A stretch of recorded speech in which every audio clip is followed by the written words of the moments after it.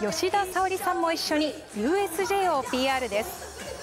イオンモール岡崎に登場したユニバーサル・スタジオ・ジャパンのキャラクターやダンサーたち。パークで開催中のパレードのダンスを披露しました。子どもたちでもこうすぐに覚えられてすぐに踊れるダンスだったので私ももう本当にすぐ覚えることができて。USJ をたびたび訪れているという吉田沙保里さんも登場し子どもたちと一緒にダンスを踊って盛り上げていました。